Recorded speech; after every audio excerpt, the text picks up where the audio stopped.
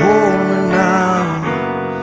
I'm six feet from the edge, and I'm thinking maybe six feet is so far down. I'm not a man. I am Cantona.